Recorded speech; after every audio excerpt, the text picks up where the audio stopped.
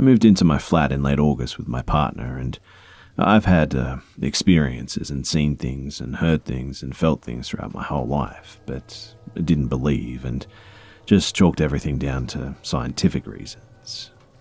This apartment block has six lots in it, and two occupied on the bottom floor and mine on the top floor. I'm not sure the order that these happened in because they occurred over a month timeline, but this is what happened.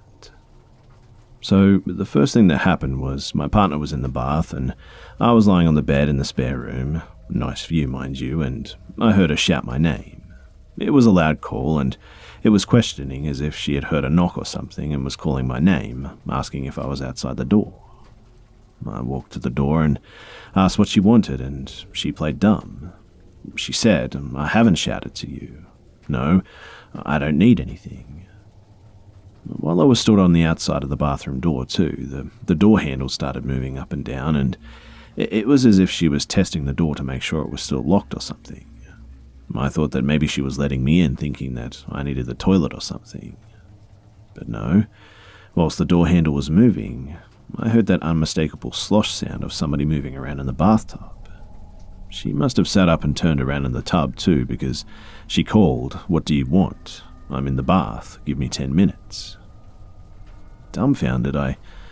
I just walked back to the spot in the spare room, thinking that surely she was just playing some sort of trick on me. Again, my partner was in the bathroom another time cleaning her teeth. She has this thing where she cleans them OTT and flosses and mouthwash and some weird brush thing and just everything. I do the generic two minutes and mouthwash rinse and then I'm out. And I left the bathroom and thought, I know, I'll hide in the dark living room so she'll come to bed and not see me and check the living room where I'll jump out and make her jump. I heard the bathroom door unlock, open and close, and saw a shadow on the wall move down the hallway around the corner and continue down the hallway wall. The hallway has no windows, no doors were open, and the only light source is the light bulb, and there were no bugs that cast a shadow or anything, and I saw a woman's shadow with, in my mind, a, a beak like face. I jumped out, ready to scare my partner, and there was no one there. On a third occasion, while sleeping, I've, I've been woken up by my partner moaning during a nightmare, too. The two that stood out to me was that she was awake in a dream, and there were lights swirling around the room making face like shapes, and she felt that they were a threatening presence. The next, she again woke up, and actually still asleep though, and there was an old woman like figure above her just looking back at her. The fourth occurrence was that uh, my partner had gone to the toilet during the night, 3 a.m. When she came back, she found me sitting up in bed, fast asleep still, and I turned to her and apparently said, The spirits are here with us tonight. And then I just laid back down and carried on sleeping, leaving her wide awake and terrified all night. The fifth time, I was in bed, and it must have been uh, 2 or 3 a.m., I think, and I rolled over and put my arm around my partner and cuddled in closer. Suddenly, the door opens, which makes me shoot up in bed in fight or flight mode, and there's a figure in the doorway. I jump up and I shout, What the fuck?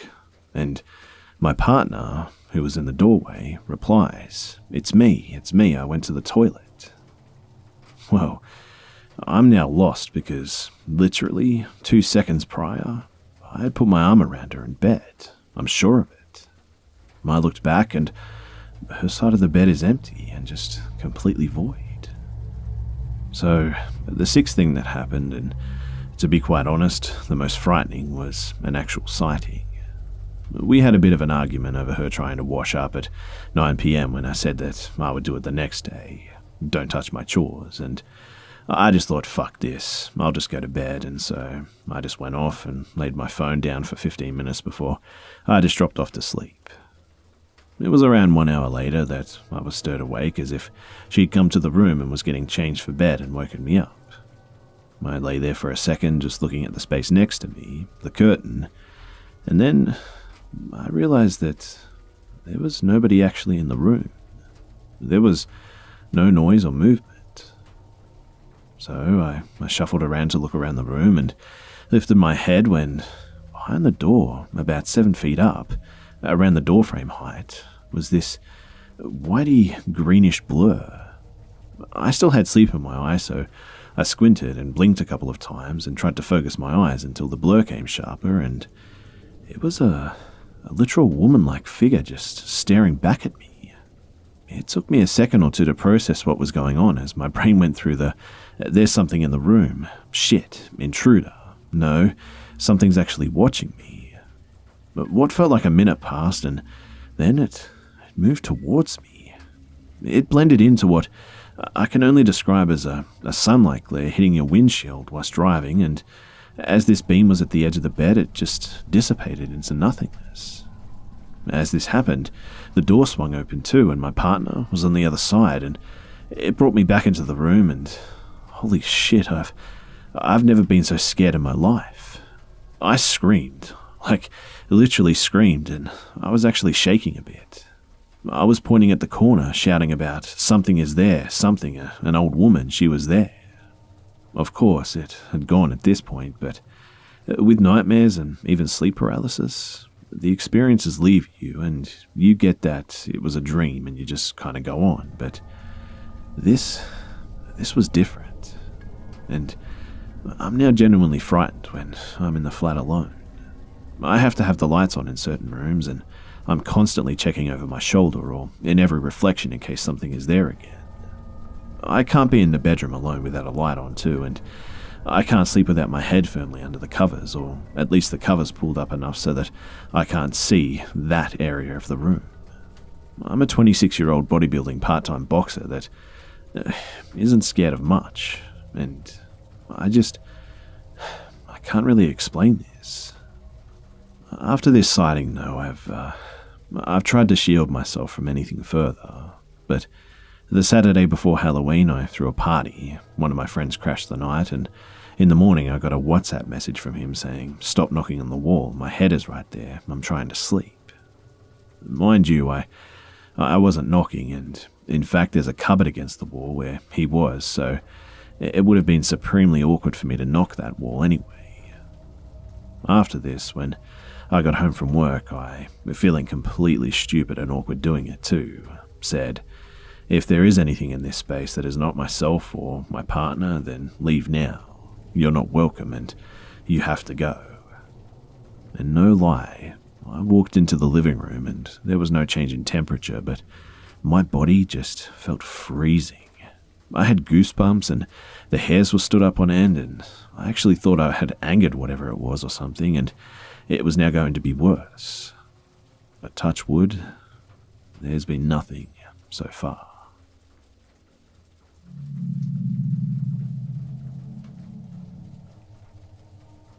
I'm a long time lurker, hoping that I would never have a story to share, but unfortunately, two weeks ago, it started. In hindsight, I, I guess it started a long time ago, though. So, uh, my now husband and I moved in together almost four years ago to a rather nice, albeit expensive apartment complex in a, a sort of nice part of town. We're on the third floor with a large balcony that looks out into the courtyard in which other apartments in the complex are located. Basically, you can see the other balconies and living rooms of the other tenants and the open stairwells too. So, uh, you went by without a hitch, and my husband works at a bar, so he comes home late while I usually make it home around 5. It's easy to get to any apartment doorway as the complex is large and open with no security doors except the door to the apartment. So, this all started in August of 2016. I would be home after work just chilling and watching TV and almost always around 9:30 I could hear someone come up the stairs. Things would be quiet, and all of a sudden, there were loud, sharp knocks on my door. I didn't move because it was startling, but eventually went to look at the peephole, and there stood three people, all with black hoodies on, all seemingly staring at the peephole like they could see me. Obviously, I, I didn't answer the door, and after a while, they just left. Q, a few weeks later, same time, but this incident, there were footsteps and then loud, hard bangs on the door, and they sent my cat flying to hide. I sat, frozen, but said to myself, maybe the police? I made it to the peephole once again, and this time staring out at one person, dark hoodie, male, white, and very, very gaunt, with huge black eyes. Again, I didn't answer the door and grabbed a kitchen knife that I kept by my side until my husband came home.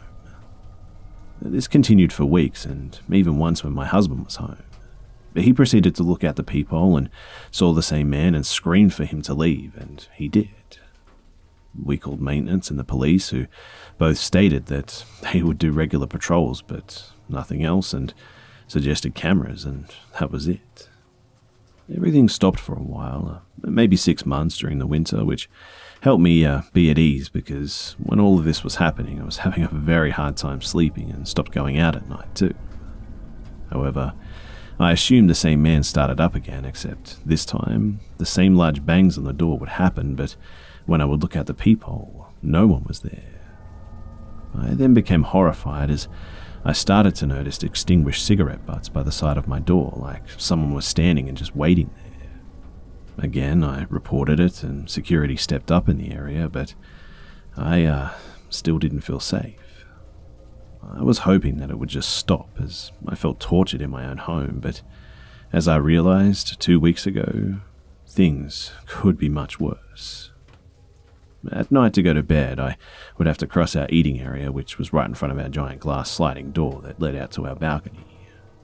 It was late at night, lights off in the apartment, and as I walk by, I, I glance over and across the courtyard, and I see the man standing on the landing of the stairs across the way from the second to third floor, just staring right at my balcony.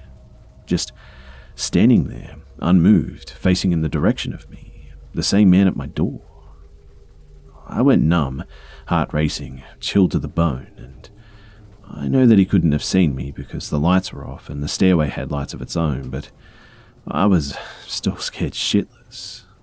I obviously called my husband, who rushed over, but the man had left. More reports to the front office were made, and more promised security patrols were made too. This same creepy, dead eyed man in the black hoodie just continued to stand at the stairway landing, just staring at my apartment. And it's now been two weeks, and he does it every Friday. I'm horrified, and I've been having awful nightmares about someone breaking in and just strangling me in my sleep. I don't know what he's doing there or what his deal is, but I wish he would just leave.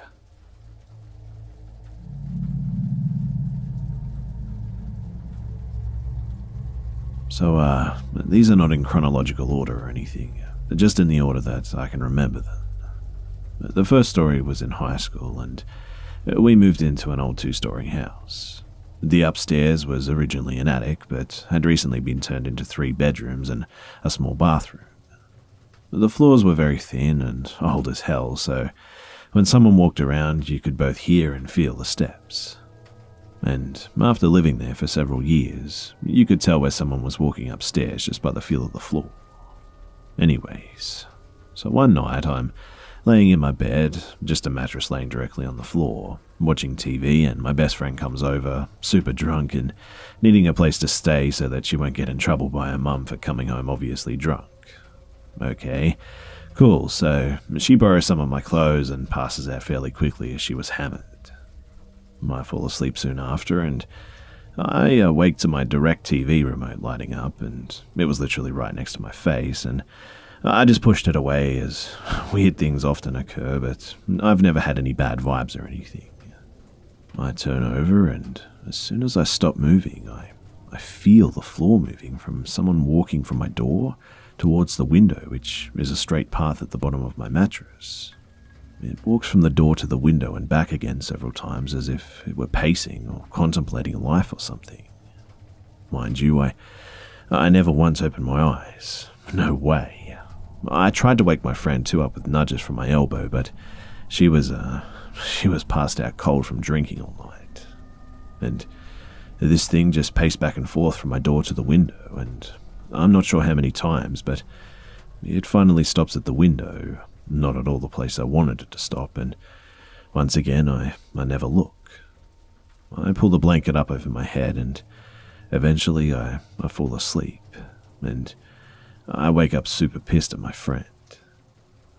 So the second story was that one night in the same house, I was alone in the house, which I'd already hated being alone in anyways, and my parents are out at the casino all weekend, and my brothers are out living their lives while I have no plans, and I'm just at home watching TV in the living room downstairs. The way the living room was set up is uh, a little bit odd, but what I assume was originally intended to be a dining room is now our living room, and what was intended to be the living room is now my parents' bedroom. Their bedroom had two sliding doors, and they always left one of the doors closed and had one of their dressers partially blocking it, while the other door was always left open. So I was sitting on the couch, which is adjacent to their bedroom, and I'm kind of laying sideways on the couch with my head turned towards the TV, just chilling, and out of the corner of my eye, I, I see what appeared to be a, a little flash. Not quite as dramatic as a camera flash, but still pretty bright, mind you. I obviously immediately turned my attention towards their room, and I see a, a black shadow move from the door that's open towards the door that's closed where the dresser is. I just stare, scared shitless, and I saw it straight on, not out of the corner of my eye or anything. I mean, I actually saw it, and I crawl backwards away from the door over the arm of the couch, grab my car keys, and I just bail. I didn't even put a bra on or socks or turn anything off. I just got in my car and drove to my friend's house, which was almost 20 miles away. I told my mother about it the next morning when she got home and suggested that we buy cameras so that we can see it, but she refused. She said, No way I'm doing that. When I see it on camera, we'll have to move.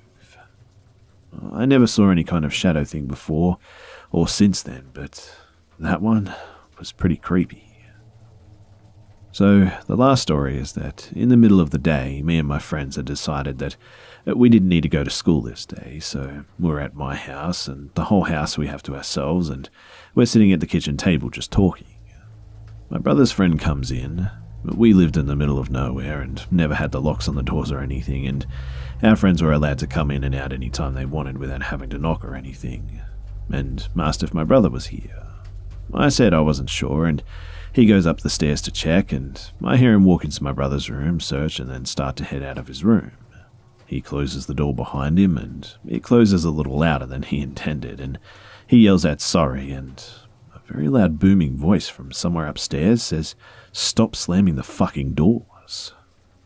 Me and my friend just look at each other with a what the fuck look, and my brother's friend comes flying down the stairs and says, Okay, bye, without looking at us and just runs out the door.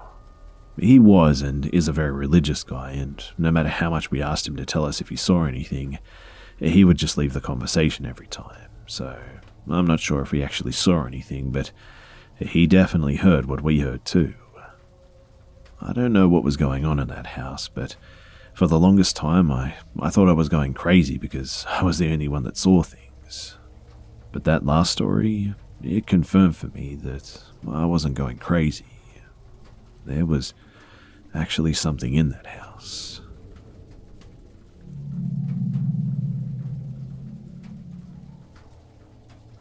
So I work in a McDonald's in the UK, and the area my Macca's is in isn't the best. But There's a lot of druggies, alcoholics, and just uh, overall idiots who cause trouble. I'm usually pretty good at fending for myself and shaking things off, but this encounter really, really freaked me out. So, it was a couple of weeks ago, and I was working on the drive through window where you collect your food. It's not uncommon for guys to make sexual comments or innuendos when they come through drive through because they don't really have to face any consequences or anything. However, this one guy came through drive through and commented on my beautiful BJ lips and asked me to meet him out back to put them to good use. I declined in the politest way I could manage and told him to move along as he was holding up the queue of cars. He moved, and I thought that that was the end of the ordeal. Five minutes later, though, the same dude comes around again and makes even more sexual comments about me, my hair, and all the creepy things that he'd like to do to me. They were quite disturbing too, and really disgusting. So bad, in fact, that I'm not going to mention them. But they were mostly about things that he'd do to me, which seemed more like uh, torture methods than sexual acts. Needless to say, I was shocked and quite visibly sickened as he drove off, and I told my manager that I felt uncomfortable by this customer and asked to be moved to a different station in case he came back around.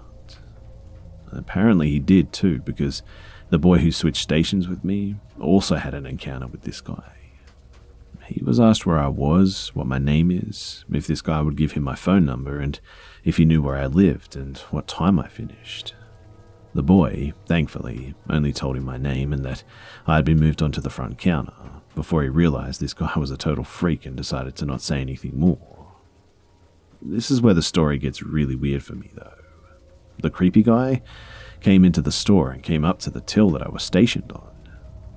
He made similar remarks about what he wanted to do to me if he were to ever get his hands on me, and he didn't stop until other customers interrupted him and told him to back off and walk away because I was getting really upset and shaken.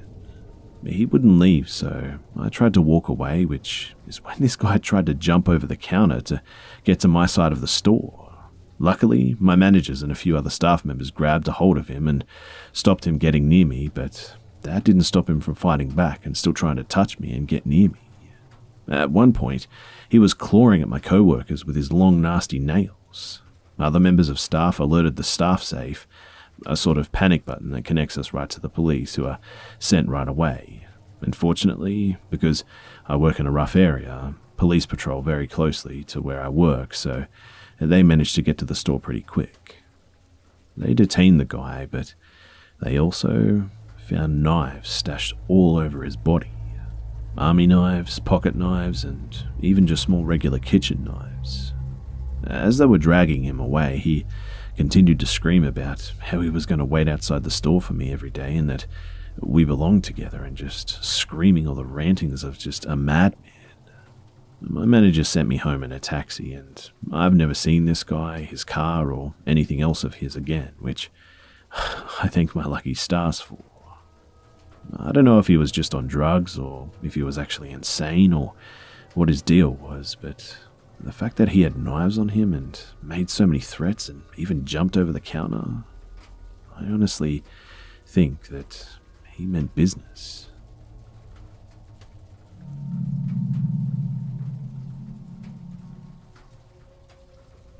In early 2007, I was freshly 18 and newly married living in Fort Polk, Louisiana, while my husband was training at Fort Benning.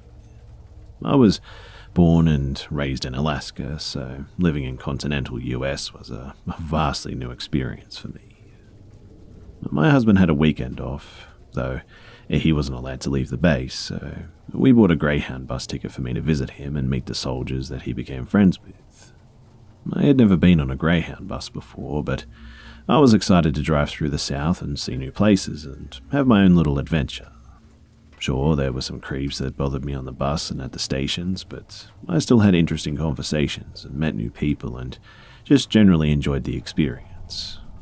Regardless of the time, each station we stopped at was open and offered food too, and outlets for charging and bathrooms and whatnot. So, when we arrived in Columbus, Georgia at about 2 a.m., I expected the station to be open, but it wasn't. Everyone else who ended their journey there had a ride waiting for them, and suddenly I was completely alone outside a locked building in the middle of downtown Columbus, fully dark and terrified. I didn't know what to do, and my phone was nearly dead from the last long leg of the travel, and I thought about walking to a gas station, but I uh, had no idea which direction to go, and I couldn't see any nearby lit buildings. I truly expected the station to be open, thinking that I would just stay there for a bit while my phone charged and I had something to eat and could have access to a phone to book a so called cab or something. But all I had was a, an old sign hanging on the side of the building with incomplete phone numbers for taxi companies. The numbers had faded, been scraped off and defaced, and there was only one complete phone number, and it was handwritten in a sharpie at the top of the list. Better than nothing, right? Wrong. I called the number and a guy answered, casual and sleepy, asking who I was, and I apologized, explaining that I was trying to call a cab, and when the guy perked up immediately and said, Oh, yeah, that's me, I'm on my way. But my phone died 10 minutes after I'd made the call, and it was another 15 minutes before the guy showed up in a traditional looking yellow taxi. I noticed the cab wasn't marked, no logo, number, rates, or anything, but it had that taxi light thing on the top, and in my young naive mind, it seemed totally legit. He waved me over, and I got in and asked him to take me to Fort Benning, finally feeling some relief. The doors auto locked, and I'll never forget the first thing that he said to me. He was silent until we got on the main road and said, Did you really think it was a good idea to call a number written in a sharpie? I froze, and in retrospect, no, it wasn't the best idea I've ever had. But I had so few options and didn't want to be stranded in a huge foreign city in the middle of the night. I don't know what else I could have done, really. After a minute, I tried to laugh it off and just hoped that he hadn't noticed that I was shaking.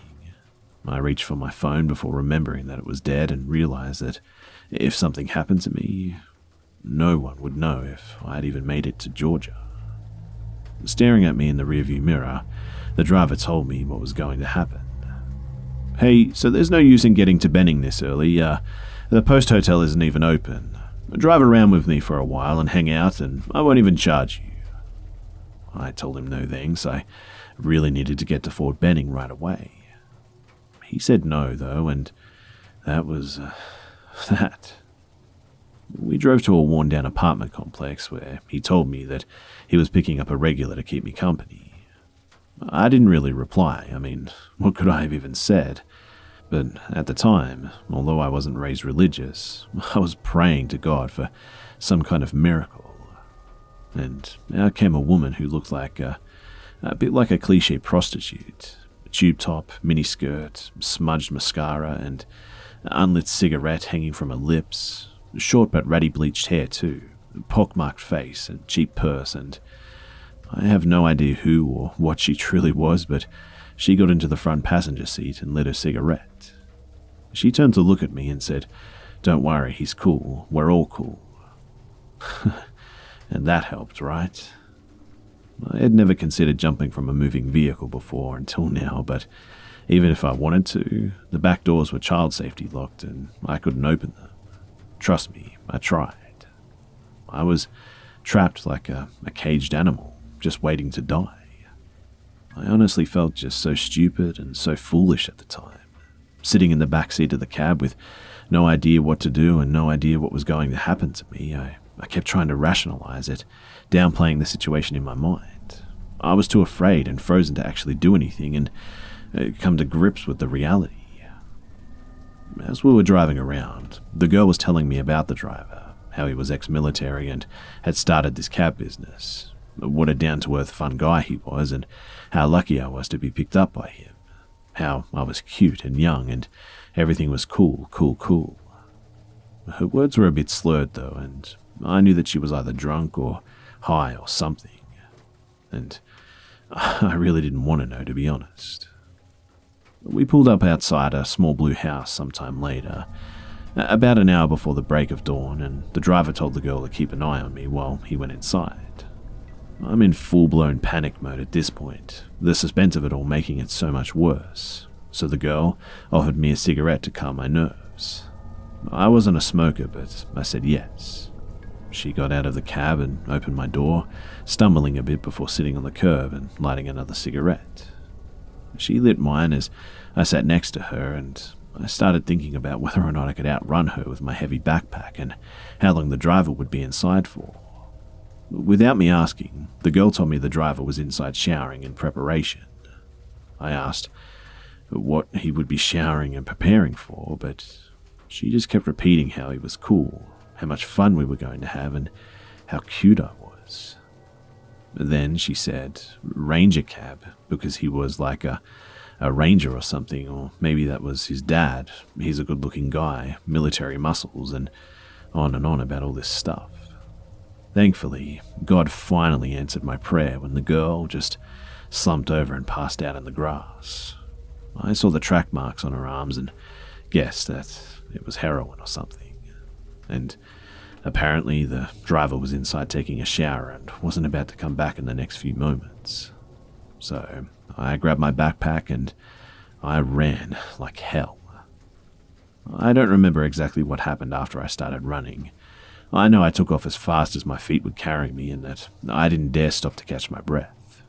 One minute I was sprinting for my life, lungs on fire, and then I was just trudging along with tears in my eyes as I walked through the Fort Benning gate with my military spouse ID, asking how to get to the base hotel. Honestly, I wish I knew how I got there, but I was in deep survival mode and I didn't stop to process any of it until I made it to my room. I don't know if someone gave me a ride or if I followed a map or what. I've never blocked a memory out like that before or ever again, which is really weird. I told my husband everything when I finally saw him too, and he uh he didn't believe me at first. I mean, I probably wouldn't have believed me either. And his lack of trust made me think that no one would take me seriously, so I just never went to the police. I still had the number that I dialed saved in my call history, and I knew the girl called it the Ranger Cab. What I didn't have was the confidence or support to report it. Sometimes I, I think back to that day and wonder what would have happened if that girl didn't let me just get out of the cab like she did, if she hadn't have passed out on the ground, and if the driver just never stopped for a shower. But it's one mystery that I'll happily not ever get the answer to.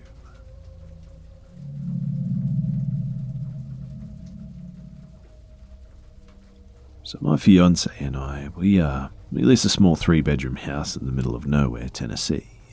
The original owner's granddaughter is our landlady and a lifelong family friend to my fiance's parents, and the original owner himself lived in the house until he passed. We've been in the house for about six months now, and some uh, some small things have happened. Just random cabinets opening in front of guests, lights being on when no one was home, and all the lights were shut off before leaving, and hearing distant conversation from another room where there's definitely no one else there, and items falling off of shelves for no reason, things being relocated through the house, and just your everyday haunted stuff.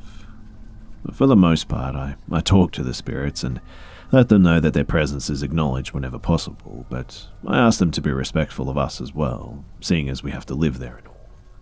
This has helped a lot of the activity calm down, but we still have a little here and there. Last weekend, though, my fiance and I, we saw a shadow figure walk past our bedroom doorway while we were getting ready for bed. There's a nightlight in the hall that keeps it illuminated, we both wear glasses, and I've walked into the wall at 2 a.m. trying to go pee in the dark before. But uh, we both saw it. We live in the country without neighbours, and there isn't any traffic along our street that late at night, so it wasn't passing headlights or anything. But a human shaped and human sized shadow just crossed the doorway. We talked it over, and obviously we're a little bit shaken, but eventually we, uh, we just went to bed. A few nights later, fiance is snoozing hard and I'm awake at 3 a.m. and I see the shadow walk down the hallway again. I don't say anything or wake him, but I mentioned it that morning before work, and my fiance says, Oh, you were probably just sleepy, maybe your eyes were playing tricks on you. And then he playfully starts saying that there's nothing in our house except us, and I think he or they decided to leave. Well, last night, he and I get ready for bed and hang our laundry in the closet, and then I told him, playing around mind you, to close the closet and get into bed. He shuts the door, and we both hear it latch, and then closes the bedroom door, and we get into bed. After about 30 minutes, though, he and I are on the cusp of sleep, but not yet all the way out, and we, uh, we hear the doorknob click hard, and then our bedroom door just opens, forcefully too, hard enough to cause it to hit the wall, in fact. We both wake up and looked at each other, and I kind of asked him, So do you think they're still gone? Obviously not. It definitely spooked us, and the vibe in the house has changed a bit for some reason, but I, uh, I'm not sure what to do now.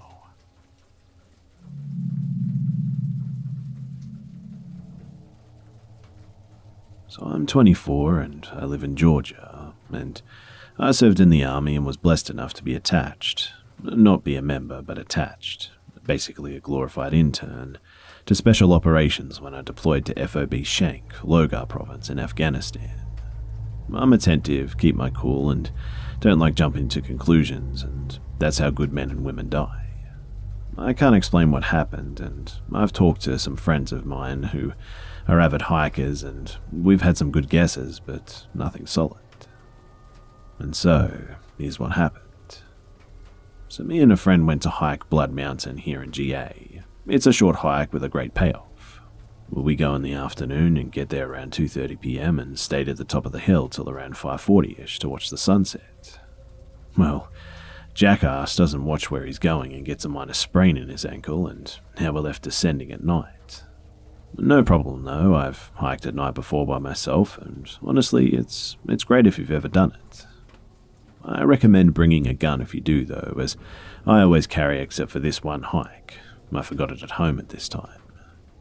So, we're talking and laughing, and we get halfway down the mountain where there are these series of stone steps. I help him down, and all of a sudden, the hairs on the back of my neck just shoot up, and I feel like I'm being watched. Just a super tense feeling.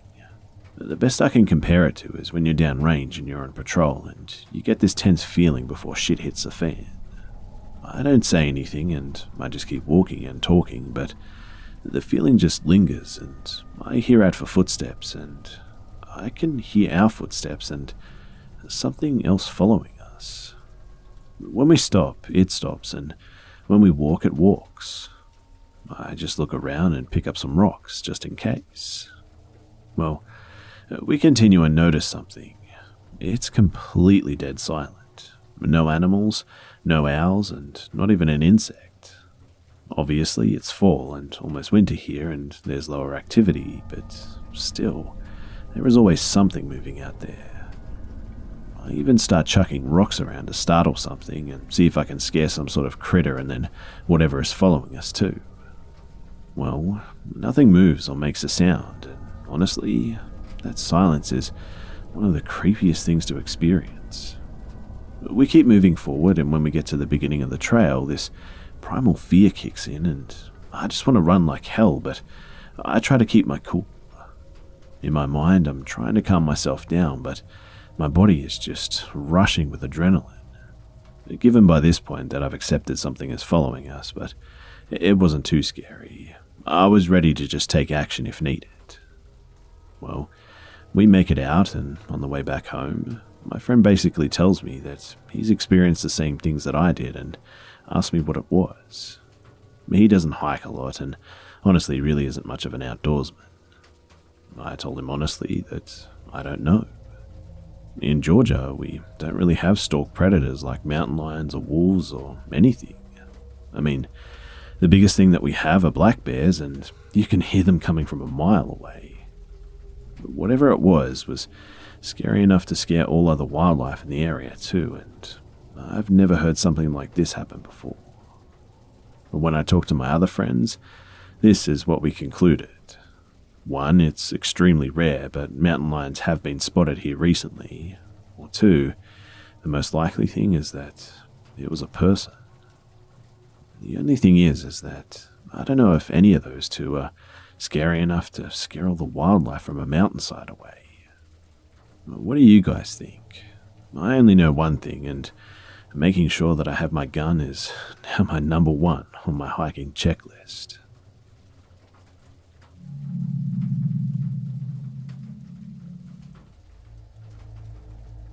So I shoot archery, and target shooting gets just so damn boring sometimes. So I would take a stroll through the woods and shoot trees and stuff.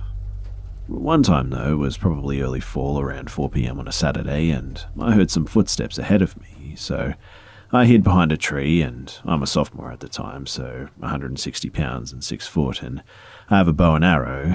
Last thing I need is the cops after me and stuff, so I stop and I wait, and it turns out that it was a soccer mum and her family on a walk through the woods. So I chill out behind a tree, just waiting for them to bug off so I can go home, but the kids decide to stop and play. It had probably been about 10 minutes before I just say, fuck it, and I stash my bow and arrow under some leaves and just head home. I come back at night, uh, probably 9:30 p.m. I'd say, and I walk along the trees until I reach the point in the woods that I'd stashed my gear, and I had a flashlight on me and quickly found it. Now, I couldn't walk along the street to get home with my bow and arrow in hand, and it was probably a half a mile walk and then a, a quarter of a mile walk through the woods, too. The flashlight had a hook and a magnet on it, so I strapped my quiver on and put the flashlight on my bow. I started making my way home, and I noticed some deer ahead of me, and I let them be because I knew how nasty bucks could be. They were acting funny, though, and they weren't running when I got closer, and they would walk uh, 20 or 30 feet ahead of me and wait for me just to get within range to see their bodies, and I never actually saw them, uh, just their green reflective eyes. But by the look of how many eyes were there, there could have been at least 15, I'd say. As I started slowly walking home, I, I kept hearing noises too behind me uh, leaves crunching, twigs breaking, and at this point I was on high alert. I would glance over my shoulder, but I wouldn't see anything, and it got to the point where I was walking with my bow drawn and an arrow ready. When the sounds were within 10 feet behind me, I would spin around ready to shoot each time, just missing whatever it was, disappearing out of sight of my range of light, and always in a blur in my peripheral vision. I was panicking on the inside, but tried to stay physically calm and continued slowly walking home, just keeping an eye on the deer in front of me and an ear on the noises behind me. The thing behind me was actually making more noises than over a dozen deer in front of me at one point. As soon as I saw my house light, a glimmer of hope was flashing through me, and then I, I hear thumping behind me before I turn, and there's uh, at least ten deer just blitzing past me. And that pushes me over the edge, and I bolt for home, and I cover 200 yards in a few seconds. I took a deep breath when I finally got there and relaxed my fingers, and they were bruised and cut from holding my string so long, and I put the arrow away and glanced at the woods and I swear to you that I saw a set of red eyes about seven or eight feet off the ground, and it was looking from behind a tree, which I knew its size, so I could roughly tell how tall it was. I couldn't make out its body, although it was vaguely human, but it was darker than the surrounding area. Once I got inside, I, I learned that I had three missing arrows. I had all of them when I picked them up, and my arrows are 32 inches long and my quiver 29 inches tall, and none of them could have fallen out. Which means that something took them out as I walked through the woods. Only during the day over the next few weeks, I, I found the arrows embedded in trees where I would shoot them all the time. And Uh, they would only go in a half inch, but they were a foot in the tree at least. To this day, I don't know what it was, and I don't go in the woods at night unless it's an emergency anymore. Uh, that night, though, I, I felt like whatever was behind me was just toying with me and uh, potentially wanted to hurt me. If I'm in the wood during the days, I, I just feel uneasy these days. But if I'm near the woods or look at them at night, I can still feel that, that anger and rage. This happened in a rural area of South Jersey, and if, uh, if any of you guys have had any experiences like this, uh, I'd sure like to know.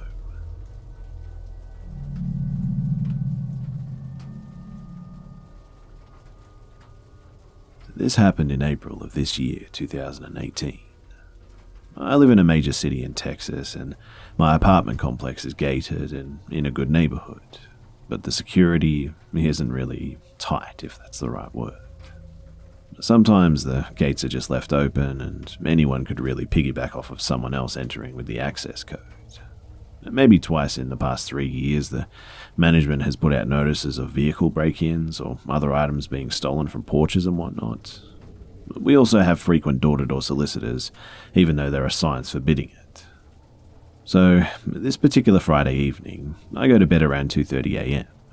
For some odd reason, though, I was having some trouble getting to sleep, so I put on a podcast to listen to and eventually start to doze off. I become aware of a noise that sounds like a, a clicking sound, but it sounds like one of my upstairs neighbors making some noise. So I kind of zone this out as I'm used to my neighbors staying up late on weekends anyway. After about 30 seconds, though, I realize the noise is extremely repetitive and getting louder. I then start focusing on it more intently, trying to isolate what it could be and where it was coming from. When suddenly, it hits me. It's coming from the entrance to my apartment. I leap out of bed and head to the foyer, and I identify the noise right away. The lock mechanism is moving back and forth rapidly, like someone is trying to unlock the front door. I can hear that an object is inserted into the lock, and the person is jimmying it back and forth with a lot of force. I instinctively turn around and head to my bedside safe, unlock it with the combination, and pull out a pistol. I load a 14 round magazine and chamber a hollow point round. I head back to the door, and as I exit the bedroom, I, I see the lock twist and unlatch. Well, I immediately pointed my weapon straight ahead, knowing that if someone comes through, I'll have to make a split second reaction. I also decide that if someone comes through that door, I'll give them a momentary chance to retreat, but if they do anything other than that or enter aggressively, I'm going to shoot and ask questions later. But they don't enter, however, because I had also locked the deadbolt, inside only. When I first moved in a year prior, I remember thinking that the deadbolt was a great security feature, and I got in the habit of always keeping it locked when I'm home. In hindsight, this decision probably saved me from a life or death confrontation. Upon realizing that, I approached the door and looked through the keyhole, and on the other side are three Asians, two men and one woman. All three are wearing hoodies, so it's difficult to make out their faces, though. The men have objects in their hands, but I can't make out exactly what it is. The two men are talking back and forth and probably trying to figure out what they can do to open the door, even though they have successfully opened the outside lock at this point. The woman is also talking loudly behind the two men, so much so that anyone in the hallway would be able to hear her voice. She's talking in another language, though, and the only words I can make out are pretty much apartment 250, and she keeps repeating that over and over like a broken record. Upon hearing that, I start to wonder for a moment if maybe they're just drunk and have the wrong apartment number or something. But that's impossible. To open my lock, they would have to have a, a copy of my exact key or some kind of lock picking device. I've never copied my key or given it to anyone for that matter, and here's the other thing. Not only is 250 not my apartment number, but as I figured out later, that apartment number doesn't even exist anywhere in the complex. Standing back from the door now, I take a long broom handle and jab it hard into the face of the door, letting them know that I'm on the other side. They immediately stop fiddling with the lock and take off running, and I debate whether to call 911 and decide against it, unless they return. I know that they'll be long gone by the time that anyone gets there anyway. It would be too risky to follow them to try and get a better description or license plate too, and I don't have enough identifying info as it is to make an arrest anyway. I filed a police report the next day and let the apartment management know too. They said it was unusual, but they would alert the resource office and ask for police presence for a couple of nights. Nothing ever came of the report, but that's uh, not really a surprise if I'm being honest.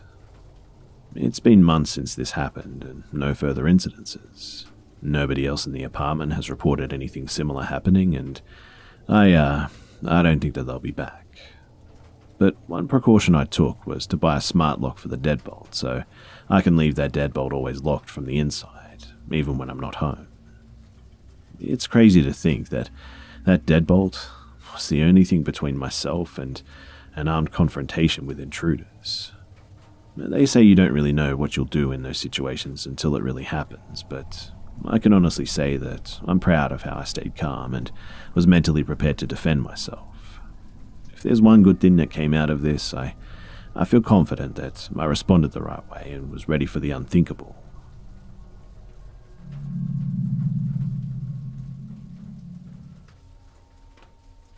My whole life, I've uh, always believed in the paranormal, and I'm not really sure why I did because I was uh, never really religious, but I always just had a gut feeling.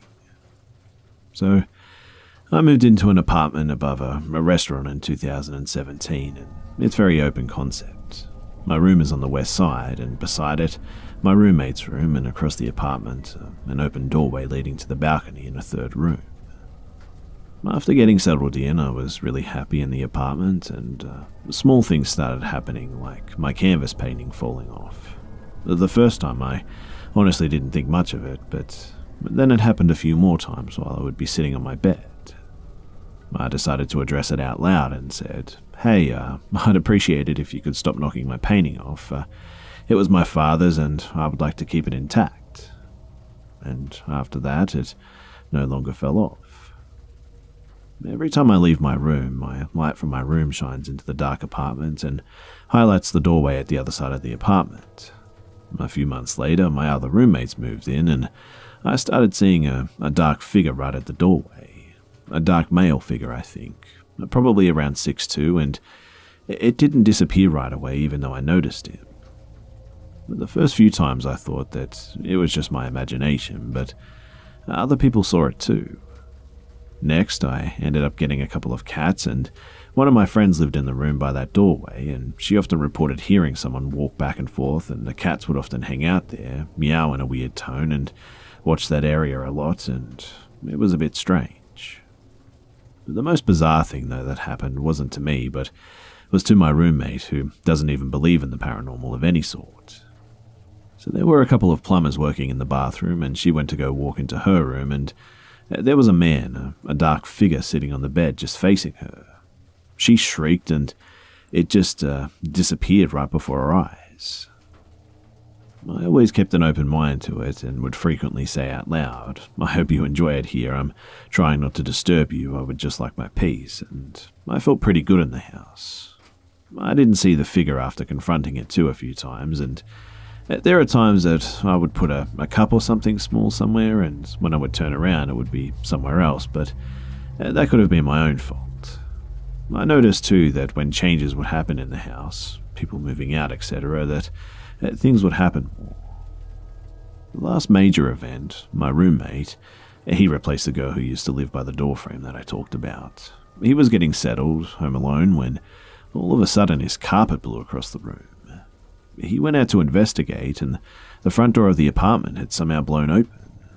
We obviously tried to explain it away with airflow and stuff. Uh, uh somehow, though, I, I think it just wasn't that.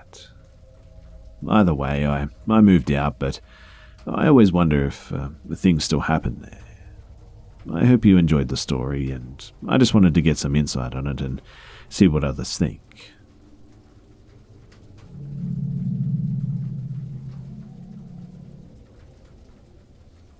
So this happened when I was 18. I'm small, 5'1", 100 pounds, long brown hair, and I think I used to believe that I was invincible, like a little dog syndrome or something, but that's, uh, that's changed now. It was a really hot summer day, and as usual, we decided to float down the river and have some drinks and laughs. This happened in Alberta on a big river. You always bump into many other people floating or kayaking on nice hot days there, too. I was with my boyfriend, 23, male and a fit guy, and a group of about 12 people. We connect all of our different tubes together with a string and play music off of a phone and just enjoy the ride. The float can be about 4 hours to 8 hours, depending on the level of water and the flow of the river. We probably floated for about 3 to 4 hours when a few people became really drunk and some started drama. We'd had enough and decided that we would just hop off and swim to the nearest side with the road and just walk back. People hop off and ditch all the time, but they also have phones to call for a ride and whatnot. We got to the road and we, uh, we had no phones and no clothes, just bathing suits, pink bikinis, and just bathing suits, a pink bikini, and his board shorts, and we didn't have shoes, and it was hot as hell out. We started walking anyway, and the road was so hot that I felt like my feet were cooking. A boyfriend seemed fine, or just uh, didn't complain like I did. After probably 10 minutes of moaning, my boyfriend agreed that we should try hitching a ride to town or get a little closer at least. He was from there and figured that we might just catch someone that he knows. Not too many cars were out, and finally a truck pulled over. We walked up, and it was two men, probably in their early 30s, and they looked fairly normal. Maybe a little disheveled and dirty, like they'd partied hard all weekend, but apart from that, just regular guys. The first thing that struck me as odd was they barely spoke to us and obviously stared at me like creep level.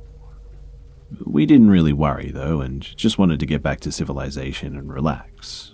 The driver got out and opened his door so the back door would open, one of those types of trucks, and we got in and he took off. We tried to make some small talk, especially my boyfriend, but these guys just acted like zombies.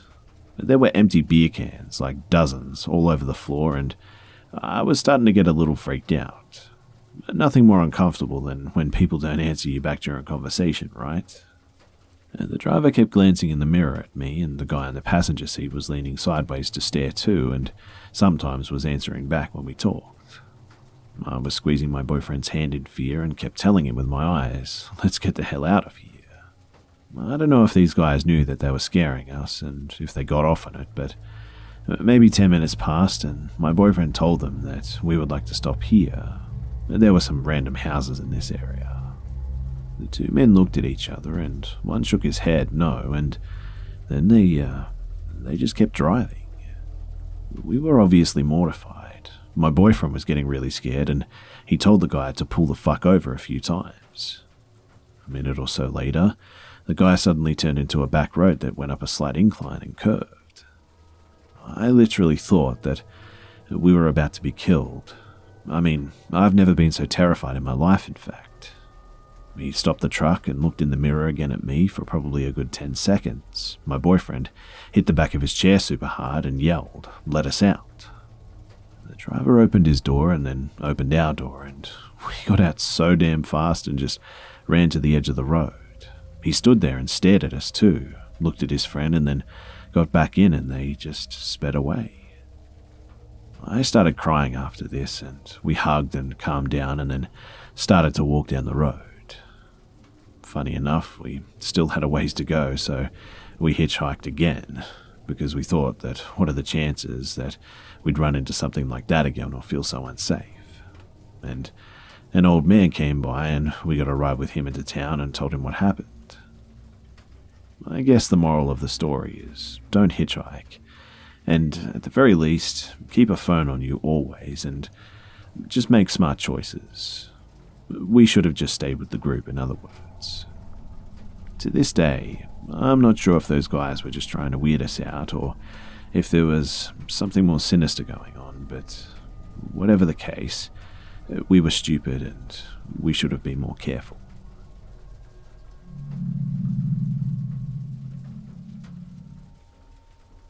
So bear in mind that when this event took place, the police were involved after, and it was an ongoing thing for a little while. It was definitely the most shocking and obscure event in my life, and if you're a paranoid person who lives alone, then this may not be for you. So, I'm from Liverpool in the UK. Sometime around mid 2016, me and a friend went on a night out to celebrate his birthday. I had met this particular friend through another friend, and uh, we got along pretty well, but this was the first time that we'd been out with just the two of us. We got into the town centre at about 11, and for anyone who's never been out into Liverpool, you'll know how busy it gets, but it's a pretty fun night.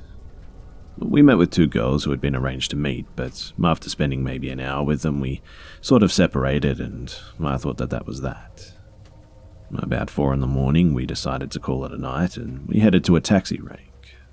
As we neared the rank, the girls that we had met up with earlier, they were waiting too, and so we just started talking again.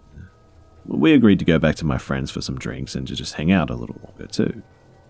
The only strange or off thing about this was that there was this guy with the two girls, and he seemed friendly, albeit a, a little bit off, but he wasn't saying much and he was just sort of tagging along but against our better judgment, we agreed to let the guy tag along to our friend's flat. We were pretty drunk and we just didn't really plan ahead.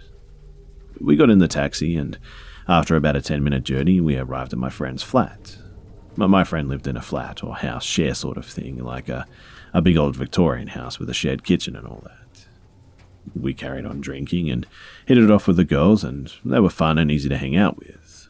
All the while, the guy that they were with just sat in silence with a, a drink occasionally laughing at something that had been said. Even when we tried to include him in the discussions, too, he would just give a one word answer and act uninterested. But he wasn't doing any harm and he wasn't really bothering anyone, so we didn't think too much of it. It was nearing about six in the morning, and the girls had decided to sleep on my friend's couch, and I was going to take a taxi home as I was starting to sober up and really didn't feel like waking up on a couch still dressed from the night before. So I called a taxi and left. A pretty normal night, right? Well, here's the fucked up part. About four hours later, my friend calls me in a panic saying that someone had broken into the flat, beat the two girls up severely, and smeared blood all over the doors in the kitchen units. As I was just waking up, I didn't really know what to do, so I told him to call the police and an ambulance to take the girls to hospital. As he was on the phone, I heard one of the girls shouting in the background, well, more screaming actually.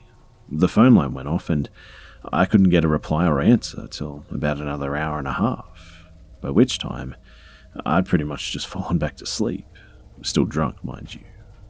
As it turns out, though, the guy who had come back to the house with us, he was the one who had done this. He had pretended to let himself out to go home and hid in the house till everyone was asleep. And for whatever reason, he beat the two girls up and broke a kitchen window. In doing this, he must have cut himself and just wiped blood everywhere. One of the other flatmates had woken up as my friend was on the phone to me too, and the guy was in her room looking through the wardrobes, also the place where he'd hidden for a while, he had shit on the floor and took a piss, and there was shit smeared on the hallway banister also. He must have got out somehow when he heard people coming to the room, and I'm not sure how, as I wasn't really there. The police were notified, obviously, and the girls were taken to A&E. I thought that that would be it too, but the next day my friend called me, and we were pretty much still shocked about it, but we were just talking it out and discussing why or who the guy could have been. I got a text maybe uh, an hour or so after telling me, and apparently the, the guy was back and he was standing in the garden and he was throwing little pebbles at the window and then running away. The girls who lived in the flat, they went to stay at a friend's house, but my friend who had a lot of valuables in the house wouldn't leave, so me and another friend went to keep him company. Literally, throughout the whole night, the guy was just throwing stuff at the windows too and banging on the doors. We managed to get a picture of him, but it was pretty blurry, and he had longish hair, which made it hard to see him properly, too. At about six in the morning, he started kicking the door too and screaming really loudly. We ran to the door and opened it, but he was already at the bottom of the path and spat in our direction and just walked away facing us. But we called the police again to tell them what had been happening, and that was that. Fast forward about six months later, and my friend calls me and tells me to check my Facebook inbox. He had sent me a news article. Apparently, the guy had been arrested for beating up and sexually assaulting prostitutes around five minutes from where my friend lived, and somebody else had come forward saying that he had followed them home on a night out and pretty much done the same shit to them as he had done to us. He was arrested and charged with quite a list of things, and as far as I know, is still in jail. Also, uh, the girls who were assaulted were fine eventually. The mental trauma was worse than the physical, I imagine. I don't know what this guy was doing or why he just smeared blood and piss and shit all through our house. I don't know if he was truly dangerous or if he was just on drugs or what. But it was for sure one of the strangest and scariest moments in my life.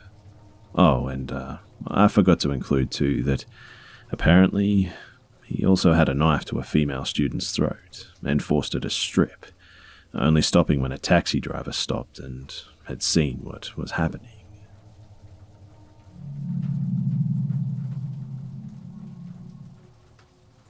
So, uh, this just happened to me, and I've been up for the past hour panicked. I woke up at 3.15 on the dot and checked my phone and I stretched and yawned and laid there for about 10 minutes not feeling a hint of being scared. So right now I'm also sleeping on the pullout in the living room with my girlfriend and my sister is in her room and there is an empty bedroom. Stepdad is stepdad is out for the night and bathrooms and whatnot. So I'm facing the whole apartment if that makes sense and when I'm laying I can see the dining room, the half kitchen and the very small hallway where the three doors are to the rooms. Mind you, I'm wide awake at this point and I'm scrolling on my phone and I roll over to face the wall and the window. I'm not laying there for more than five minutes when I hear a, a creaking of a door, even though everyone's asleep. I brush it off thinking that it was the heat or something, and that's when I hear, clear as day, right in front of the girl's room, a, a voice say hello. I whip around on the bed and I see absolutely nothing. I listen really hard, which is easy to do in a dead silent apartment, and I hear my sister snoring. I know the voice was not my sister's, as it sounded nothing like her, but trying to calm myself down, I, I just tell myself that it was my sister just talking in her sleep again or something. So I, I lay back down, and this time I face the apartment again, back to the wall. I rest my head on my pillow and again begin to scroll on my phone, and that's when I hear what I would call a, a goblin like voice, and that's all I can imagine as it sounding, and uh, something grumbled high pitched, and it wasn't like a significant word or phrase, but it was like a jumble of words, and I instantly felt sick. It was a feeling of anxiety and dread and fear all at once. I've had paranormal experiences before where I believe that I've seen a ghost in the apartment before this one, but I would have to say that this was the most terrifying thing to ever happen to me. It was about an hour ago, and I know exactly what I heard. It almost sounded like a laugh, if that makes sense, and I don't want to sound like I'm making any of this up, but it sounded like a, a different language, maybe. I'm planning on going and getting sage today to go around the house and say some prayers and whatever I can do because I'm freaked out. I did check on my sister twice just to make sure that nothing was in there and she was okay and she was sound asleep the whole time. I woke my girlfriend up too and we walked around the apartment just to be safe and I'm uh, I'm absolutely sure of what I heard, which is what I think terrifies me the most. If someone had an idea of an explanation, then I'd love to hear it to ease my mind. Also, um, I'm going to try and leave my phone on recording tonight to see if I can get anything. Then tomorrow, I'm, I'm going to try and smudge the place. But wish me luck.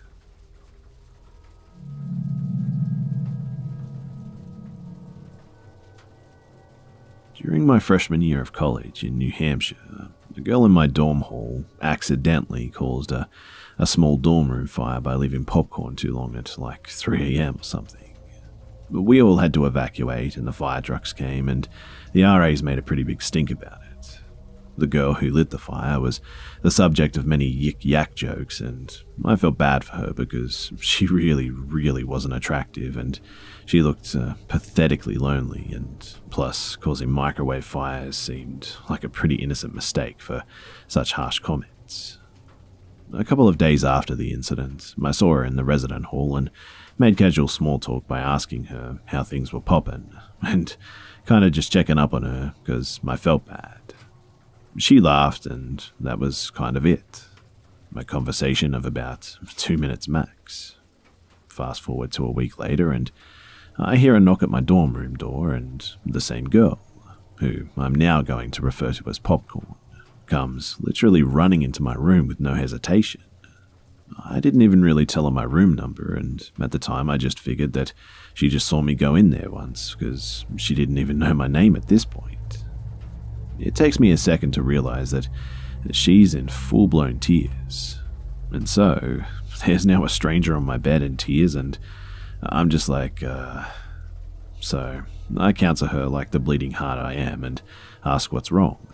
She tells me that the black dining hall cook just sexually assaulted her and the college wouldn't fire him, and she was suffering emotionally because of it. Being a victim of assault myself, I really sympathized with her situation and gave her my phone number in case she needed uh, help walking to the dining hall with a safety net or whatnot. I don't take sexual assault lightly. The night after our conversation in my room, I got a call from her to walk her to the dining hall because the black cook that assaulted her was working that day. I walked her down to get food, and she just lit up like a glow stick, and a whole new person emerged. It didn't matter that her assaultant was in the room. She was talking my ear off about Pretty Little Liars, One Direction, and Just uh, a lot of things I really didn't care about, but. But then again, she had no one to talk to, and the situation was complicated. So I just listened and nodded my head. Over the course of about two weeks, give or take, I had walked her down to the dining hall about maybe four or five times, I'd say. She may have been a victim of assault, but she was also a very annoying and unappealing person. I mean, for shit's sake, she actually talked about herself in third person. Her story about the assault became inconsistent, and there was always new major developments about what happened, and that the story was changed to something much more drastic and severe. It went from assault to full on gang rape as her story developed. Then one day she made a really racist comment, and it made me immediately uncomfortable and unsettled. After this, I, I didn't want to walk her down or interact with her anymore either. The week of Thanksgiving reprieve, I went back home to visit my family while Popcorn stayed on campus. During that week, I had 60 missed phone calls from Popcorn. One day specifically, I even had 20 plus calls in the span of a couple of hours. No normal person would do that, and red flags definitely were raising if they hadn't been already. When I got back to campus, there was a knock on my door, and sure enough, it was Popcorn crying again. She tells me that because I wasn't on campus to protect her, she was raped by a Muslim guy while walking to Panera Bread, and the Filipino RA groped and slapped her boobs. If red flags weren't being raised, then this was full on sirens. I'm no rape apologist by any means, but the rape to ratio rate was exceptionally high with this one, especially since these three assaults happened within a month's time frame all by people of colour seemingly at random. She was making these stories up to elicit some sick form of sympathy, and as an actual victim of assault, I was beyond offended. I told her that I had to leave for class and ran the fuck off to my friend to ask for advice. It got really crazy really fast, too, and I warned the RA officers about her, and they told me that they would talk to her. During class, I was up to a hundred missed phone calls too, and a series of individual messages that just said hi. And at this point, I was done with this shit. I wanted nothing to do with her anymore, and I blocked a number and just went back to my dorm. That week after classes, I just went straight to my dorm too, and I didn't want to see her, but one day I had to go to the bathroom, so I walked to the stall to do my business.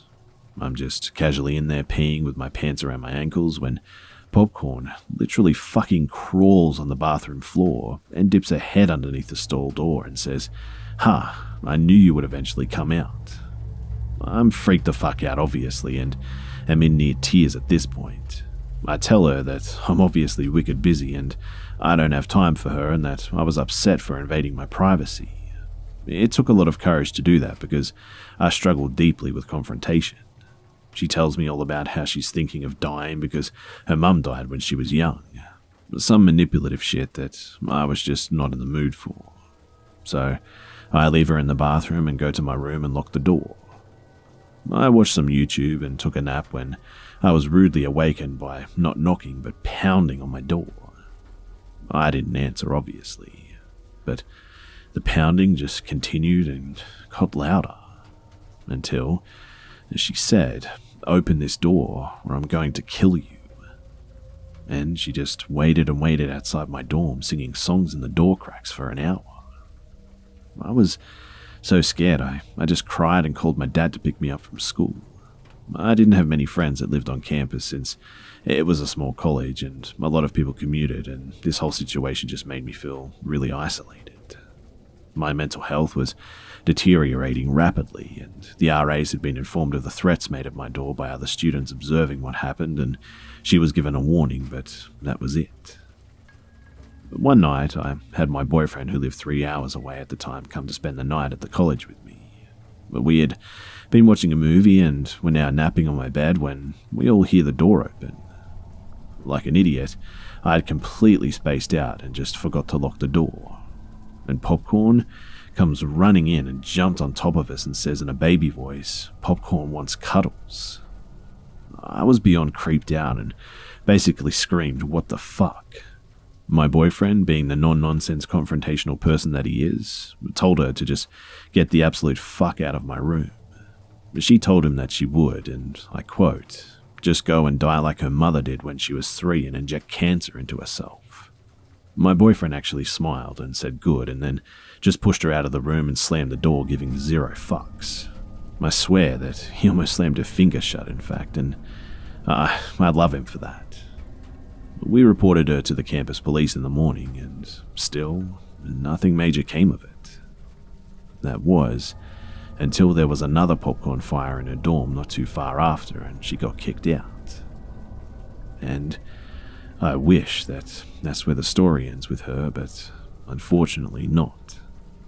So after she left the dorms, my resident life became a lot easier.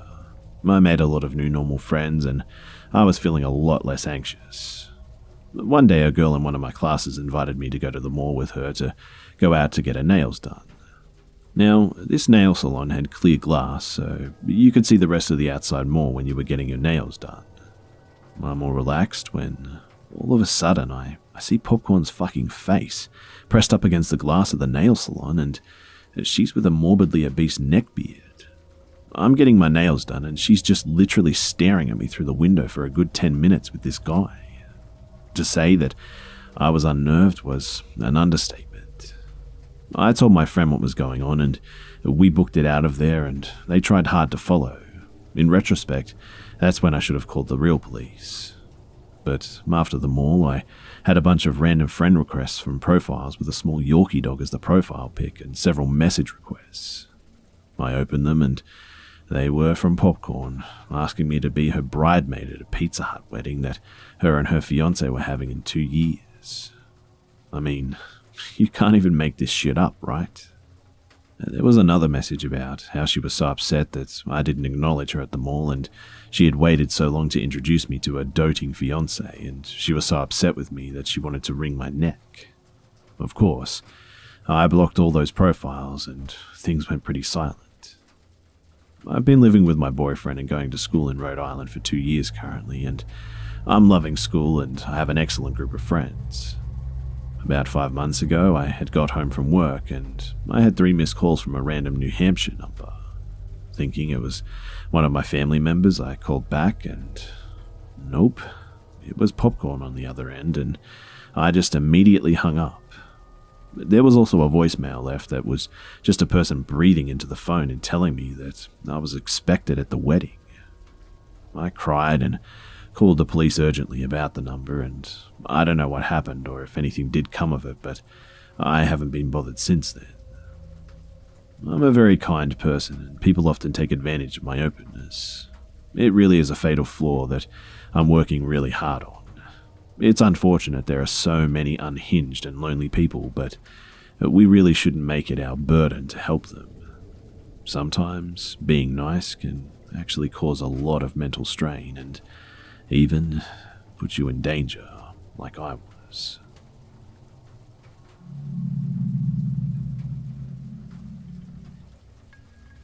To start off, I'm a 19 year old female, and at the time of this story, I was around 15. I want to make it clear, too, that I've had many encounters with the paranormal before, but this one was the most terrifying yet. So every year for work, my mother has a convention at a hotel that was built in the late 1700s, and the place is massive and overall really elegant. Since her work has been going there for years, our family gets a discount whenever we want to venture there for a vacation. This was my first time at the hotel, and I instantly loved it. With me was my father, my brother, and of course my mother. When we first got into our room, there was a dreadful feeling that I got whenever I entered my room alone, so I tried to only go in there with my brother. We had a lot of fun eating gourmet food, getting a spa treatment, and wandering around the hotel grounds. I was outside one day with my camera and decided to take a picture of the main building, and as I was looking through the camera, I noticed uh, tiny windows at the top of the building. Nothing unusual, just windows to the old maid's quarters, my mum said, but I still got a weird feeling from just looking at them, and it didn't help that most of the windows were broken or even open in the dead of winter. One night, after dinner, my mother and I decided to walk around the interior of the hotel where my brother and dad rested in their room. It was around 8 pm and Uh, there were only a few people, especially if you strayed away from the main entrance. We took our time walking around and looking at the various rooms, including a movie theatre that we both refused to enter. Before we headed to bed, we decided to go to the very top floor to look out from the windows to get a better view of the town below. We entered the nearest elevator and pressed floor 16. As we were going up, my brother called us to ask us where we were, and my mum and him started chatting. All of a sudden, the elevator doors open and we were both frozen in place. The door opened and we both got hit with just this incredibly cold breeze, along with a pitch black room. We both immediately pressed a different floor because we could sense that we weren't supposed to be there. I squeezed my eyes shut because I was so scared that something was going to pop out at me, and suddenly the doors close and we both start to relax. But all of a sudden, the numbers on the elevator's display panel just started going crazy. It was rapidly displaying two, then various other numbers, including those that weren't even listed as a button on the elevator. I got so scared, and my mother and I were hanging on to each other in complete terror. By this time, my mother was on the phone with my brother, and we had no idea what was going on. All of a sudden, the panel displays floor 15 and the doors open up. Not wanting to stay on the elevator, we just decided to use the stairs at this point. As we started making our way to the stairs, I, I start to feel like uh, this presence behind us. I let my mother know what I'm sensing, and she just tells me not to look back and walk as fast as possible. That statement freaked me out even more, though, because uh, my mum usually doesn't feel that kind of energy. As we're making our way down the stairs, I decide to look back, and what I saw will stick with me forever. I saw a, a tall black mist, like a shadow figure, a few feet behind us. It didn't have any features and seemed to just be standing still, like deathly still. We kept running until we hit the main floor, and we could finally breathe, and we decided to look at the elevator to see if the floor we selected had a, an employees only sign, but it didn't. On our way back to our room, we figured out that we must have accidentally made our way up to the old maid's quarters or something, which honestly sent chills up my spine. But My mum also came to the conclusion that the cold air must have just been the winter air making its way through the broken or open windows. I agreed, but the cold air just felt different from the crisp winter air from outside. But I must admit that I could have just imagined that. When we got back to our room, my brother asked what happened, and we told him the whole story. All of a sudden, he looked at us with a, a weirded out look on his face, and he told us that while on the phone with my mum when the elevator doors opened, he heard a bunch of whispers come through our end. This freaked me out so much, and I opted to sleep in my mother's room the rest of the trip. Nothing else happened, mind you, during our vacation, and we left a few days later, but I was completely scared the whole time. My mum still has her convention there every year, and now that I'm employed with her, I, I go as well. Whenever I do go, though, I, I always experience things, but nothing near that extreme. If you want to hear some stories from my family's experiences at that hotel, then please let me know in the comment section below because I know I would love to get them off my chest. Anyway, thanks for listening, guys, and uh, I hope you enjoyed.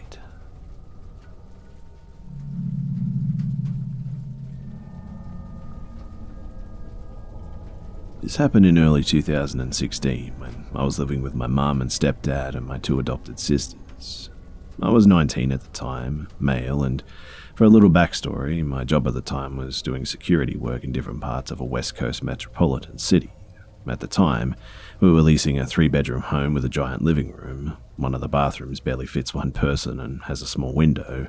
Included inside is a metal wire shelf thing that holds all of my stuff like gel, toothbrush, razor, etc.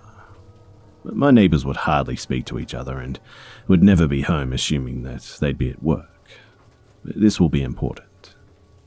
So this event occurred when I had just gotten off work doing a 12 hour graveyard shift, 6pm to 6am, and of course I was tired as all hell, so I quickly drove home, said hi to my mum while she made breakfast, and I slumped my way to my room and just knocked out with my uniform on black polo, tactical pants, and tactical boots.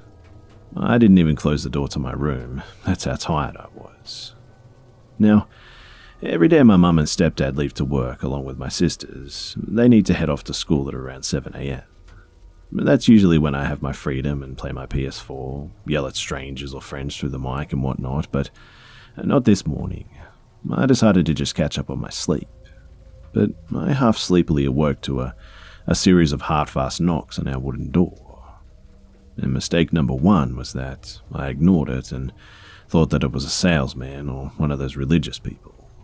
Sometimes my stepdad comes home to get lunch too, but he has a key to the house, so no worries, I thought and I just quickly fell back to sleep. I awoke again some time later, though, to sudden sounds of loud footsteps just running on the wood floor towards the door, and the door slamming shut as loud as it possibly can. And that was mistake number two. Okay, it, it must have been my stepdad running late to work after his lunch break. No biggie. After my slumber, everybody came home and started preparing for dinner while I hopped on some PS4. My mum comes in with a, a very serious face and says, Did someone break into the house? Did you leave any time today? I say, No, why? I, I was just sleeping until everyone came back. She says, Okay, come and have a look at this. My mum takes me to the little bathroom from the earlier description, and I looked up to the little window and cold air breezing through a broken frame and broken hinges. I looked at the metal wire shelf, and there was a dent on top as if someone bent it while climbing in. And I felt my spine tingle as it hadn't really hit me at that moment until then. I thought back to what I heard while I was asleep, and I told my mum that I heard someone knocking earlier, and I heard my stepdad come back to get something before leaving in a rush and slamming the door. My mum says, Son, stepdad didn't go to the house today. And my throat clenched and my stomach dropped. My fingertips felt as if they had been frozen, and I felt as if my whole body was sinking down into a deep, dark abyss in the ocean. I couldn't say anything, and we just stared at each other for an eternity. We started checking the whole house, though, to see if anything had been taken, and nothing. Everything was as is. We asked a few neighbours if they had seen anything, but they obviously weren't home, and we gave the local PD a tip just to let them know, and uh, they already had knowledge of this, that this person is still out there too. My mind kept racing, though, about what just happened. Why wasn't anything taken, and why did this mystery burglar decide to run off? We came to the conclusion that this person knocked first to see if anyone was home, but seeing as I didn't answer, they did their duty and stepped into our house, and since I snore really loud, this person might have thought that there was a dog inside the house or something. Another possibility would be that this person saw someone in a uniform and didn't want to mess with me, or just simply the fact that I was in the house or something. There were many possibilities that could have unfolded too, and it's not exactly clear what this burglar's intentions were. Were they just to grab everything valuable and leave, or what if this maniac was stepping into my house with intentions other than stealing? The thought of someone watching me sleep from about five feet away gets me so anxious no matter where I am. This event made me realize that no matter who you are, you will always be vulnerable when you aren't alert of your surroundings. Now, I'm a 5'11 guy and I'm an average build kind of dude. It's safe to say I could have held my own against someone who was trying to break in. Along with my plethora of bludgeoning and bladed weapons, it could have gone down pretty easily. But even if you're armed to the teeth, you'll never know when someone will be watching you and planning something ill mannered. There are things and people out there that have been shielded away from most of us, especially in this day and age. You'll just Never know who could walk past down the street. I'm now 22 and married with a one year old son and a daughter on the way, and this is something that I've learned from, and I'll be teaching my son and soon to be daughter to be aware of their surroundings and to not see the bright side of strangers just trying to do them a good deed, that they'll never know what their true intentions might be. This goes out to anyone listening to this. Please, just watch your surroundings and be careful.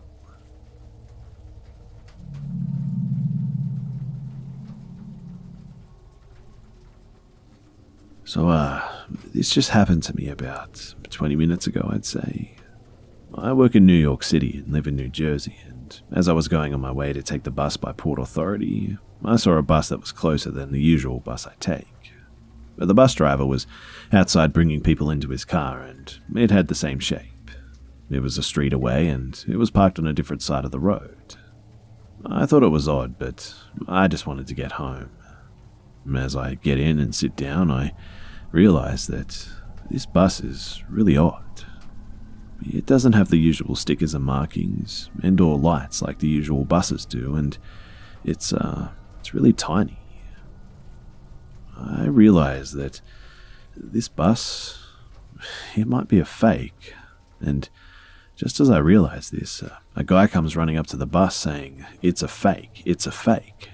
And that's when I knew my hunch was right, and an older woman and I try to get out. But then, the supposed bus driver that's still outside barricades the door. He puts his arms over the door and won't let us leave, and he told us no. So I told him to fuck off and pushed him. But both the woman and I just ran the hell out of there and onto the right and real buses. I don't know what that guy's intentions were, but have you guys ever seen or heard anything like this?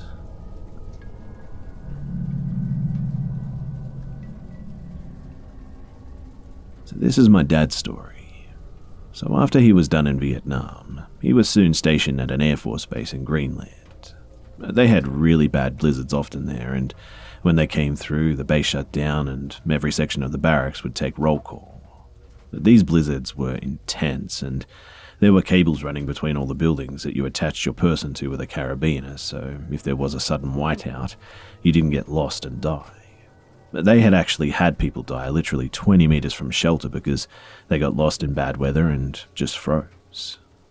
He said that for about five months, every time they locked down for weather, they would hear this like horrendous screaming outside. Everyone was accounted for, so they didn't risk sending anyone out to investigate. But they all wrote it off as some sort of an animal, but every time that this was heard, the engine room would be wrecked tools everywhere, paperwork all over the floor, tables and toolboxes knocked over. Even one time, a, a several thousand pound jet engine had been lifted from its workbench, a crane thing, and just smashed almost 30 feet away. But the hangars and engine room had cameras covering every single possible entrance with spotlights that made them clear even in a whiteout. And there were no animals and no people, and no anything was ever seen entering or leaving those buildings and then one day it just stopped.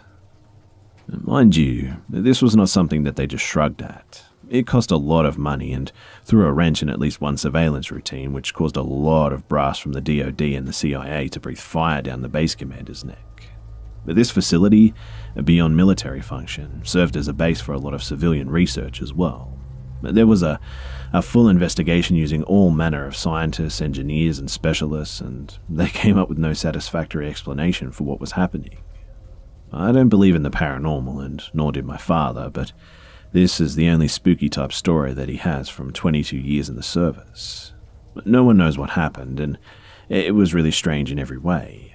Hundreds of people wrote reports and documented it too, and it wasn't just some uh, a grease monkey scratching their heads and randomly guessing, if you catch my drift.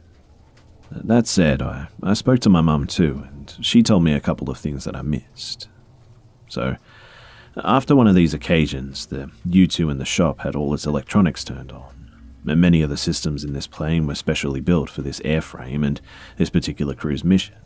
These systems were complex and really archaic, and very few people knew how to operate this machinery, and the only ones on the base that could were two engineers and its crew.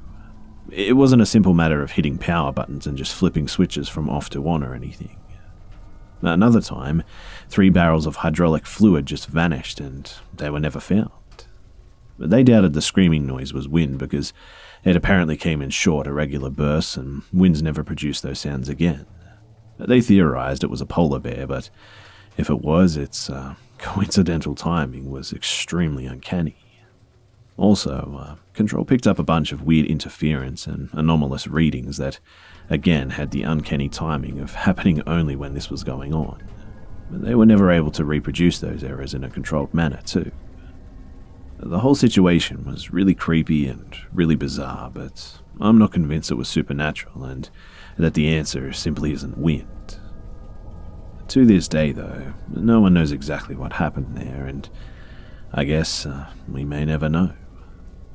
Anyway, thanks for listening, guys.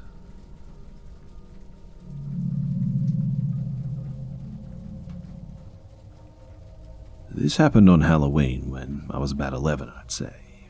My friend and I decided to go trick or treating. Yeah, we were a little bit old, but we just wanted some free candy. I lived in a very nice neighborhood, one of the ones where everyone gives out the full size candy bars, so it wasn't unusual to have a lot of people come here to trick or treat. However, that also meant that there was about an acre of front yard for each house, so it took about three minutes to walk between each door. It was a good night for Halloween weather wise, not too chilly, not rainy or anything, and this is important later. So, it's approaching about 8:30 p.m. and after hanging around on the golf course and appreciating our candy haul, we decided to start heading home and call it a night. The street that I live on is a gigantic U shape, like a little over half a mile walk from the top of the U down to the bend to the other side. We were walking towards the end of the U further from my house as we wanted to take the long way since it was such a nice night. It's about 9 pm now, so no one else is really out anymore at this point, and people turned off their porch lights too, the universal signal for no more trick or treaters. That's when we notice uh, a lone white van parked on the street. We made a joke about how it looks like one of those stereotypical kidnap vans with the painted windows and everything. And that's when we noticed it shift out of the park and slowly creep down the street towards us and park at the next house. I said, Huh, they must have had kids trick or treating or something. It wasn't uncommon for people to drive their kids from house to house since they were so spread out in our neighbourhood, but given that it was 9 pm and a night with nice weather, it struck us all as a bit odd. We checked every few minutes, and it seemed to be just stopping from house to house like normal. We turned around again and kept walking at a leisurely pace, gossiping and all that stuff.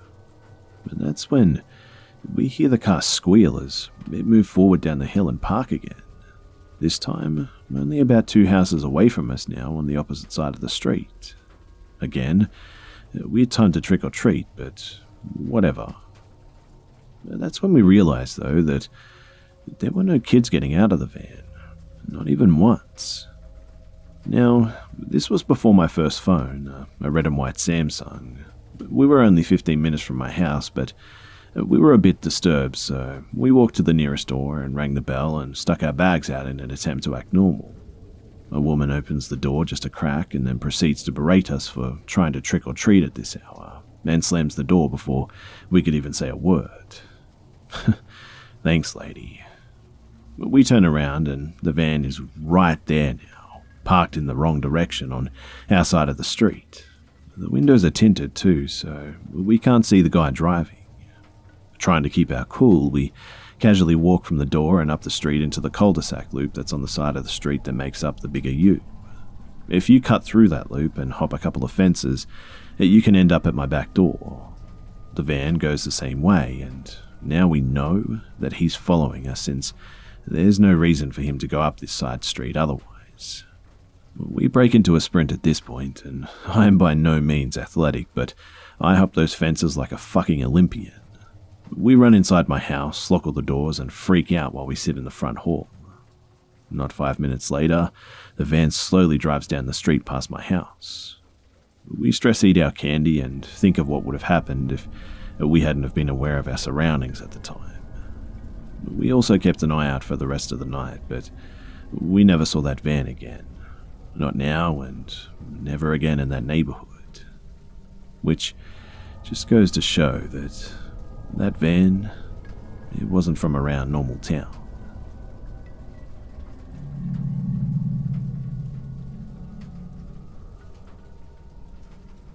Six years ago, I had just graduated nursing school and had not gotten my certification yet, so while I studied and waited for my test date, I worked as a CNA.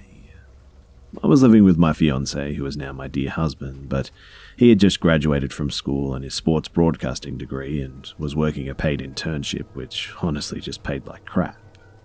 So, we were living in a one bedroom apartment in a not so great neighborhood. The complex itself was Section 8 housing, as well as a housed offenders when they got out of the local prison, something we didn't learn until after we had already lived there for a few months. However, we befriended many of the residents. Our neighbours to the right, a young single mother on Section 8 with two kids who worked two jobs, became a very good friend, and we still keep in contact with to this day. Our neighbour to the left was an ex con, a guy named Ramon that worked at a bakery. He often bought us bread and donuts that he got free from work.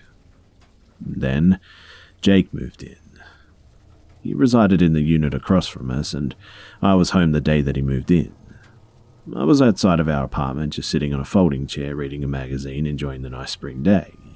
First thing I noticed was that he had an electric monitoring bracelet on. He also was a, a scary looking guy. He was only five eight, but he had long, greasy blonde hair, a, a pockmarked face, and his facial tattoos put Post Malone to shame, to be honest. He saw me sitting there as he moved things into his house, and he came over to where I was sitting, and I grabbed my magazine to go into the house, and he started talking to me. Just polite things, and so I decided to be nice, even though my red flag meter was going off. He introduced himself as Jake, and I gave him my nickname, not my actual name, but what others call me, and he started asking me if I lived alone, and other more personal things, so I gave a hasty answer of no, my fiance lived here as well, and then just excused myself. I noticed, though, that he was still standing out there, just staring at my door, so I quickly closed the shades and just went to watch some TV. Later on, when my fiance was home, I told him about Jake too and how he was just staring. My fiance told me to just be careful and that he would walk me in from work as we both left at the same time anyway. For a while, uh, things were good. I never saw Jake, and I think fiance ran into him once. Then I ended up passing my nursing exam, and I also got a better paying job. Fiance was hired by the network that he was interning for, and things were looking up, and we found an apartment that we could afford in a nicer part of town, with a doorman and everything. We bid adieu to the complex and the friends we made there and moved into our new place. I thought my days of ever seeing Jake again were over at that point. But one day, while working my job in the busy ER, I saw a familiar face. It was Jake, and he had taken an overdose of meds and was on a 24 hour observation. There was not a room available for him, so he was kept in the ER, and I went in to take his vitals, and he recognized me, and he went off on me about how I moved out without saying goodbye and how much he missed me. Just crazy things, being that we barely knew each other and had really only talked that one time. I explained myself to the charge nurse, and she got someone else to babysit him, as I did not feel comfortable. After my shift ended, I headed out to my car, and I was about to get in when I saw Jake walking briskly towards me. I got in my car and locked it and started by the time that he made his way over. He started hitting the car and banging my trunk and slapping the windows and shouting at me to open the fucking door. I drove off, but not before he got one good kick to my bumper. I was terrified to go to work for a while too, and I insisted that security escort me to and from my car. Three months had passed with no sign of Jake, and I started relaxing and I walked to and from my car by myself. One day I'm heading to my car when someone bumps into me, like they were trying to bump my hip, but I'm tiny, only 5 foot 2 and was 110 pounds at the time, so I lost my balance and just went flying. I twist my ankle and I'm grabbing it when I look up ready to tell whomever did it off when I see that it's Jake. His hair had been cut, but he looked manic, and he was staring weirdly at me. I hit the panic button on my car and he just took off running at this point. After that, I, I went to the police and I got an RO against him. He ended up breaking the RO by approaching me again at work, this time thankfully when I was around several co workers, and he uh, ended up going to jail for breaking the RO and breaking parole. He was released last year, though, according to his parole officer, who actually contacted me, and thankfully, we live in a state away from there now, and he never knew my full name. Which just goes to show that my intuition or just giving him my nickname, it may have saved me a lifetime of pain.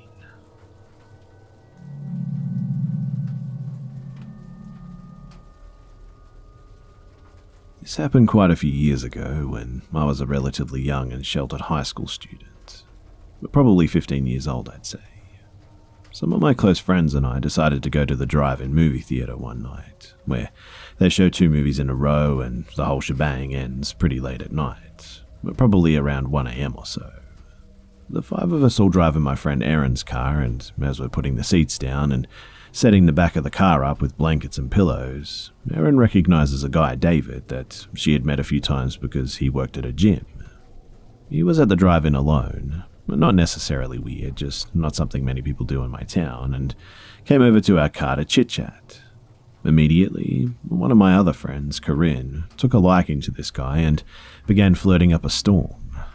And it wasn't long until Corinne invited him to watch the movie with us, inside of Erin's car.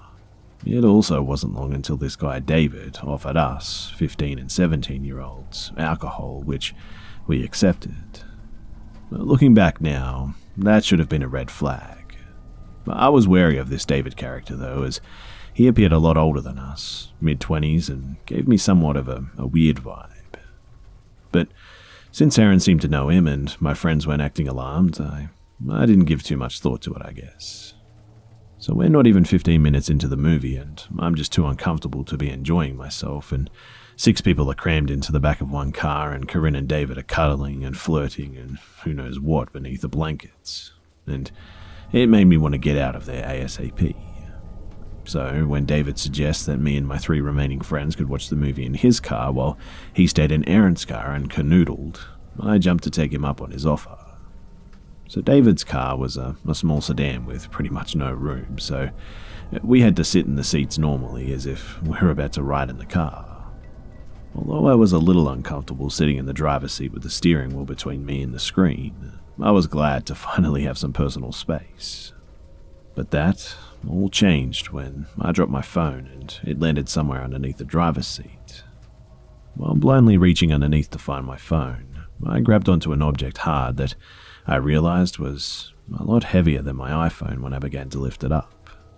And to my complete and utter surprise, I realized that it's a gun.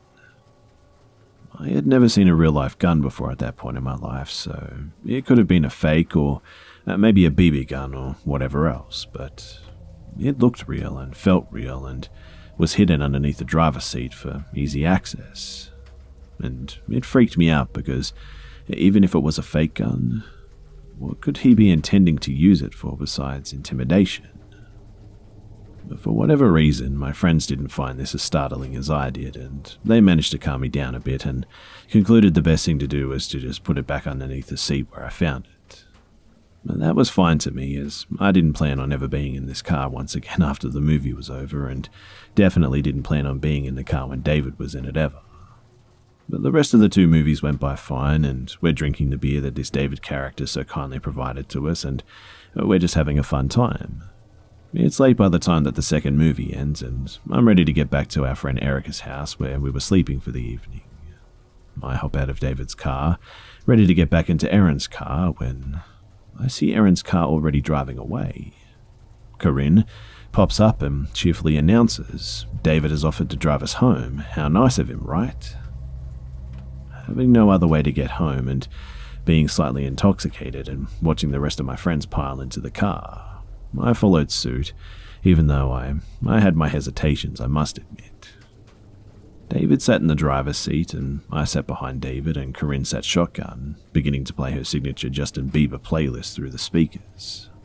The car ride started out normal enough, with Erica giving directions to her house, and Corinne not paying attention to anything but her Bieber, and me feeling uneasy and hyper aware of the situation.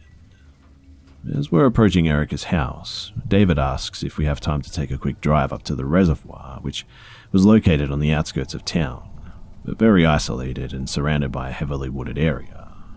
It's probably close to 2 am at this point, too, and the only person who even slightly knew this random man has left us, and I know that there's a very real looking gun underneath the seat of this guy's car that he doesn't know I know about. So, of course, I say no. But David just says, We're going up to the reservoir. Confused and alarmed, I start politely protesting, saying that we really don't have time and we're expected at home and yada yada. But with every word I say, David just turns the volume of the music up louder and louder, drowning out my voice and obviously ignoring me as he starts to head up the long dark road that leads to the reservoir. Well, I go into panic mode at this point, annoyed that none of my friends are doing anything, especially Corinne, who is still singing along to Bieber. I start to freak out and I decide that he cannot take us up to the reservoir. He just can't. I mean, what if the gun is real and he threatens us with it, or worse? What if the gun isn't real, but he still uses it to threaten us to do something? A million thoughts race through my head, and I won't let him take us to a secluded area where any number of things could happen and no one could hear us. I decided that if he's going to do something to us, I would rather risk it being here, in town, or more populated road, where our chances of survival or whatever are better. And so, I literally freak out. All sense of politeness that I felt I needed to have is gone now, and I started kicking the back of his chair with both of my feet, screaming at the top of my lungs that he needs to take us back now. I roll down the window and start shouting, trying to cause a scene, doing anything that I can do to just try and stop this man from driving us up to the middle of nowhere. I don't stop kicking and screaming until he finally relents, almost scoffs and says, Fine, as if I was some sort of crazy lady completely overreacting to the situation.